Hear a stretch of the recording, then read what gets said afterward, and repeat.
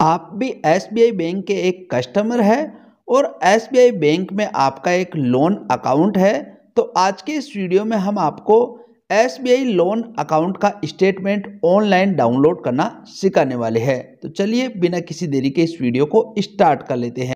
सबसे पहले दोस्तों, आपको गूगल ब्राउज़र को ओपन कर लेना है और गूगल ब्राउज़र को ओपन करने के बाद आपको ऑनलाइन SBI टाइप करना है और सर्च के बटन पर क्लिक करना है। इसके बाद देखिएगा आपके सामने स्टेट बैंक ऑफ़ इंडिया की ऑफिशियल वेबसाइट आ जाएगी। आपको इसके ऊपर क्लिक करना है और यहाँ पर देखिएगा आपको पर्सनल बैंकिंग के नीचे ही एक लॉगिन का बटन दिखाई देगा। आपको लॉगिन के बटन पर क्लिक करने के बाद कंटिन्यू टू लॉगिन के ऊपर क्लिक करना है। अब देखिएगा आपके सामने यूज़र नेम पासवर्ड और यहाँ पर देखिएगा एक कैप्चा कोड है, इसे टाइप करने का ऑप्शन आ जाएगा। आपको अपने इंटरनेट बैंकिंग के यूज़र नेम पासवर्ड और इस कैप्चा कोड को टाइप करने के बाद इंटरनेट बैंकिंग में लॉगिन कर लेना है। जैसे दोस्तों आप एसबीआई इंटरनेट बैंकिंग में लॉगिन कर लेंगे तो इस तरह का डैशबोर्ड आपके सामने ओपन हो जाएगा। अब दोस्तों आपको अपना लोन स्टेटमेंट डाउनलोड करने के लिए अकाउंट समरी के नीचे ही अकाउंट स्टेटमेंट लिखा हुआ दिखाई दे रहा है। आपको अकाउंट स्टेटमेंट के ऊपर क्लिक करना है।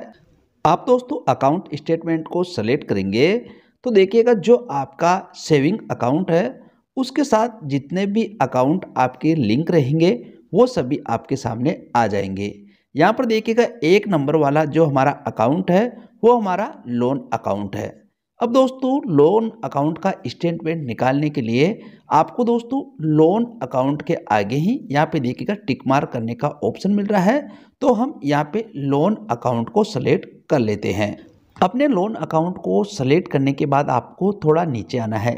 नीचे आएँगे तो यहाँ पर देखिएगा select options for the statement period आपके सामने लिखा हुआ आएगा और नीचे देखिएगा by date by month last six month और फाइनेंशियल ईयर आप चाहे तो डेट वाइज भी अपना लोन अकाउंट का स्टेटमेंट निकाल सकते हैं। वहीं दोस्तों, आप लास्ट सिक्स मंथ का भी निकाल सकते हैं और किसी फाइनेंशियल ईयर का लोन स्टेटमेंट निकालना चाहते हैं तो आपको फाइनेंशियल ईयर को सिलेक्ट करना है।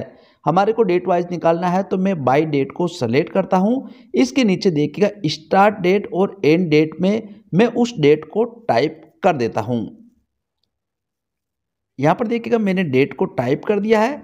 डेट को टाइप करने के बाद यहाँ पर देखिएगा आप इस लोन स्टेटमेंट को किस फ़ाइल में डाउनलोड करना चाहते हैं तो हमारे को पीडीएफ फ़ाइल में लोन अकाउंट स्टेटमेंट को डाउनलोड करना है। तो यहाँ पर देखिएगा थर्ड नंबर वाला option download in PDF format को मैं यहाँ पे सेलेक्ट कर लेता हूँ। इसके बाद नीचे आएँगे तो यहाँ पर देखिएगा आपको एक गो का बटन दिखाई दे रहा है। डाउनलोड इन पीडीएफ फॉर्मेट को सेलेक्ट करने के बाद आपको गो के बटन के ऊपर क्लिक करना है। जैसे दोस्तों आप गो के बटन के ऊपर क्लिक करेंगे तो यहाँ पर देखिएगा आपके कंप्यूटर या फिर पीसी में लोन अकाउंट स्टेटमेंट को डाउनलोड करने के लिए आपको नीचे देखिएगा एक सेव का बटन दिखाई दे रहा है। आपको सेव के बटन के ऊपर क्लिक करना है। जैसे दोस्तों आप सेव के बटन पर क्लिक करेंगे तो आपके कंप्यूटर में आपका लोन अकाउंट स्टेटमेंट डाउनलोड हो जाएगा।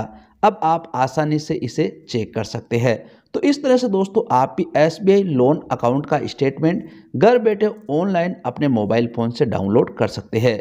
अगर आपको हमारा वीडियो पसंद आया तो इस वीडियो को लाइक करके हमारे चैनल को सब्सक्राइब ज़रूर करिएगा। जय हिंद, जय भारत।